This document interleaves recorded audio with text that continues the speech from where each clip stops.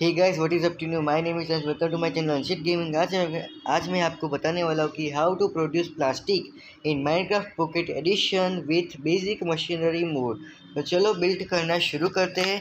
सबसे पहले आपको चाहिए एक स्टीम जनरेटर एक गैस कंडेंसर और ये तीन केबल्स एक फ्लू एक वाटर टैंक और एक फ्लूड टैंक तो चलो बिल्ड करना शुरू करते हैं।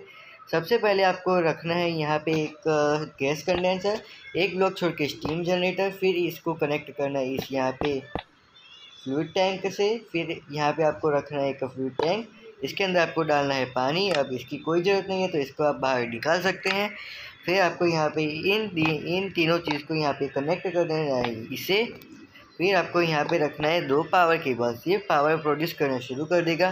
फिर आपको यहाँ पे रखना है लावा जनरेटर नेक्स्ट स्टेज में आएगा लावा जनरेटर और ये फ्लूड टैंक तो चलो बिल्ड करना शुरू करते हैं। अब आपको यहाँ पे रखना है एक फ्लूड पंप अब मैं आपको रिकमेंड करूँगा कि आप यहाँ पे पाँच लावा जनरेटर्स नहीं, सात लावा जनरेटर्स रखें।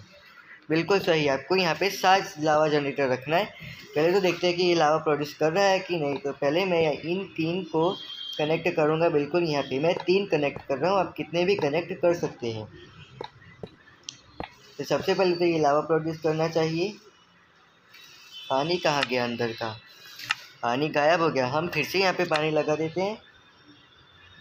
और अब इसे तोड़ देते हैं। इसका अब कोई काम नहीं। इसको हम यहाँ पे अब डाल देते हैं पीछे।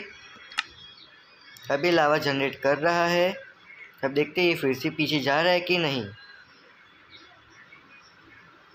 तो यह बिल्कुल अच्छी तरह से लावा प्रोड्यूस कर रहा है।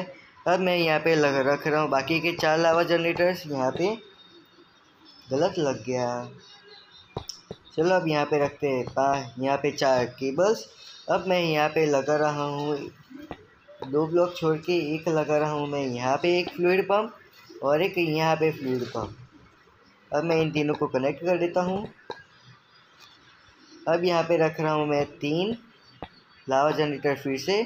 वैसे भी यहाँ पे भी लगा रहा हूँ तीन लावा जनरेटर्स अब यहाँ पे आ गया तीन लावा जनरेटर वहाँ पे भी तीन लावा जनरेटर आएगा। अब ये ये पावर प्रोड्यूस करेगा यहाँ पे ऑयल रिग को, जो यहाँ पे बीच में आएगा। और ये पावर प्रोड्यूस करेगा प्लास्टिक रिफाइनरी को। हाँ आपने सही सुना, आपको यहाँ पे प्लास्टिक रिफाइनरी रखनी है। पहले तो आपको थोड़ा बहुत मिनरल्स चाहिए होगा, वो आपको मेरी एपिसोड नंबर फोर देखना पड़ेगा। तो यहाँ पे अब पावर प्रोड्यूस कर रहा है, अब मैं यहाँ पे लगा रहा हूँ ऑयल रिग और प्लास्टिक रिफाइनरी तो चलो, पहले यहाँ पे मैं ऑयल रिग रखा देता हूँ। अब यहाँ पे आएगा फ्लूड केबल्स और यहाँ पे आएगी प्लास्टिक रिफाइनरी अब ये देखो काम कर रहा है, अभी भी मेरे वो मोबाइल में टेक्निकल डिफ़िकल्टी है तो यहाँ पे अब मेरे मोटेक की कुछ डिफ़िकल्टी आ गई है तो यहाँ पे प्लास्टिक प्रोड्यूस कर रहा है। ये देखिए, यहाँ पे लाइट हो रही है, उसका मतलब कि ये प्लास्टिक रिफाइनरी प्लास्टिक प्रोड्यूस कर रही है। तब मैं यहाँ पे कॉर्नर बेल्ट लगा देता हूँ, बिल्कुल यहाँ पे। और फिर मैं यहाँ पे लग रहा हूँ एक चेस्ट और यहाँ पे मैं लगा रहा हूँ एक हॉपर। तो इस तरह से ये प्लास्टिक रिफाइनरी काम करती है।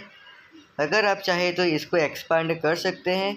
यहाँ पे एक जनरेटर रख और वहाँ पे भी।